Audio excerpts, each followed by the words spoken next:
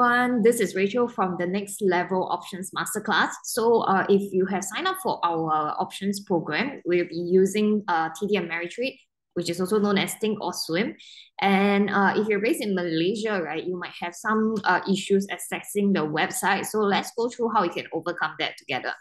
Okay, so uh, usually what we do is we will come to the Think or Swim uh, uh, TD Ameritrade website, and then we'll press open an account.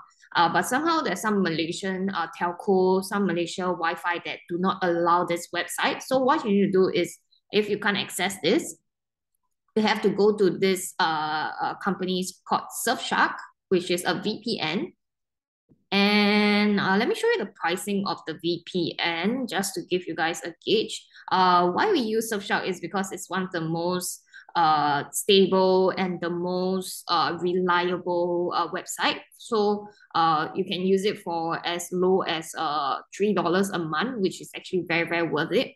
So uh, you can go ahead and choose the pricing. I will, I will put the link uh, below as well so that you can go straight to make the payment. Okay, so once you have signed up for uh, this Surfshark VPN, what you need to do is actually to download the Surfshark extension. Okay, so uh, once you have downloaded the Surfshark extension, right, which is uh, over here. Uh,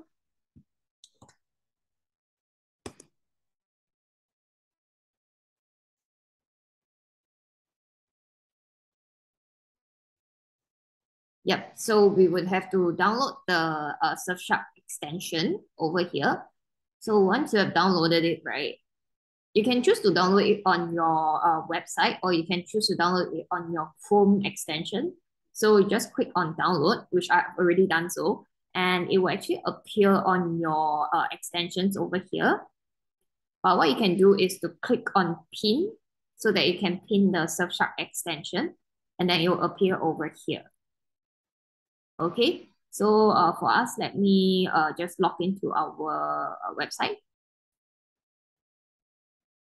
All right, so we were log in over here. Oops.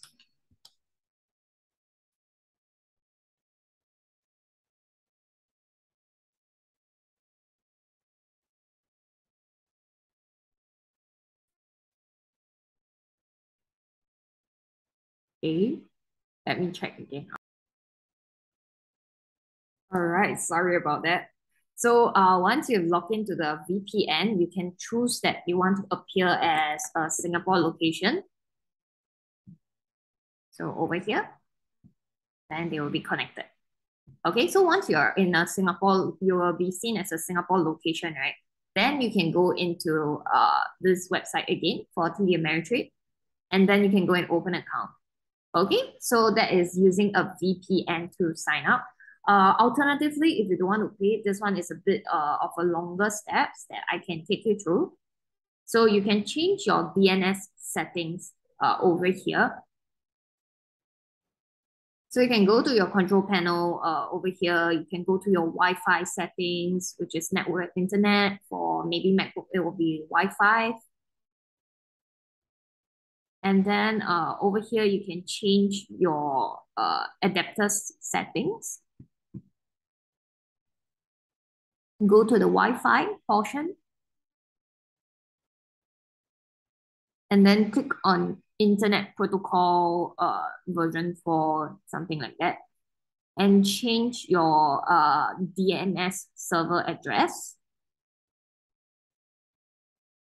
and key in uh, the number 8888 slash 8844. Okay, and then press OK and then press that you're close and done. All right.